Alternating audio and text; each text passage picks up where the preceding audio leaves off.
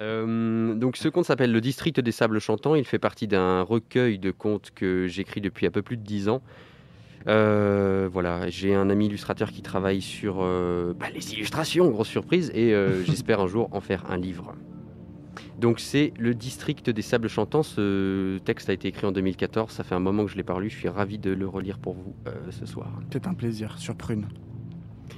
Il était une fois, dans le désert chinois de Badain-Jaran, un village oublié qu'on appelait Zuchang. Huit vieillards y vivaient toute l'année. Ils mangeaient peu, ne parlaient pas. Assis devant leur hutte, de l'aube au couchant, ils écoutaient. Parfois, l'un d'entre eux semblait percevoir quelque chose. Il marchait en silence vers une grosse pierre au centre du village et y gravait, à l'aide d'un caillou noir, un mot. Et puis, sans hâte, il l'effaçait. Ainsi passaient les jours à Zuchang. Un matin, les vieillards virent arriver un homme. Il ne lui fut pas permis de dire son nom avant le coucher du soleil. Alors seulement le doyen l'emmena sous sa hutte et le lui demanda. Je m'appelle Kiao Liang, dit l'homme. J'ai fui le fracas des hommes et le mien. Je cherche ici quelque chose que j'ignore. Le vieillard répondit qu'il s'appelait Feng Chi et qu'il cherchait la même chose.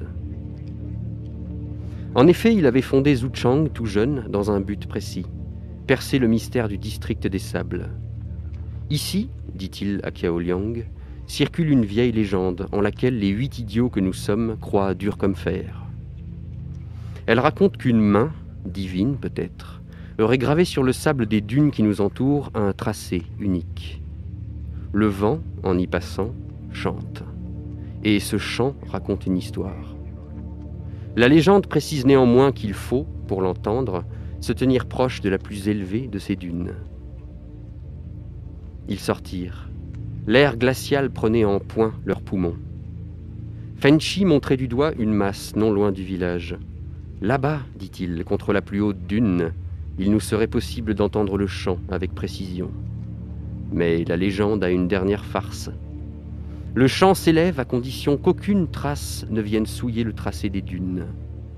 Si le moindre grain s'y déplace, le chemin du vent en sera perturbé et il se taira. Ainsi nous restons à Zuchang, espérant que l'un de nous saisisse un jour, à défaut du chant lui-même, un mot égaré. Ils retournèrent s'asseoir dans la hutte. Kiao Liang observait le visage du vieux, dont les petits yeux noirs, cernés de rides, disparaissaient sous le poids des paupières.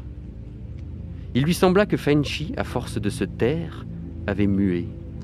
La bouche, aux lèvres déjà fines, se repliait sur elle-même dès lors qu'il ne parlait plus, tandis que les oreilles, aux lobes lourds, aux sillons profonds, étaient énormes.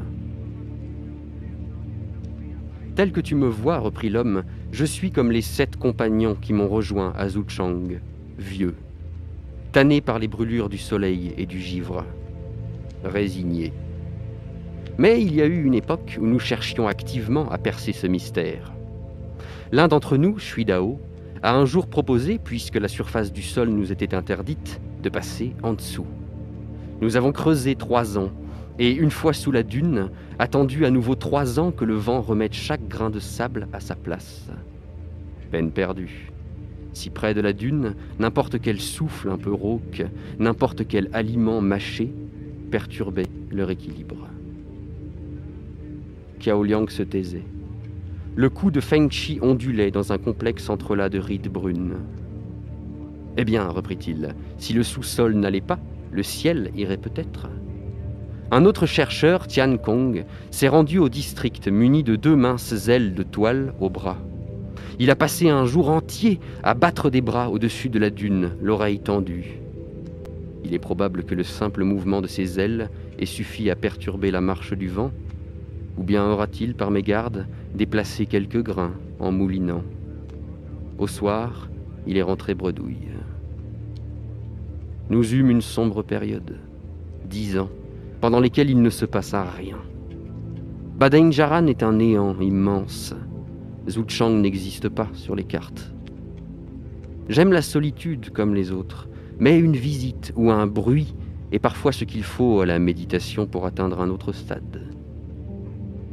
La troisième et dernière idée est venue de Shui Ting, l'homme qui t'a accueilli tout à l'heure. La légende commande de se tenir proche de la plus haute dune pour entendre le chant. C'est donc proche du chant, et non forcément de la dune, qu'il est important d'être.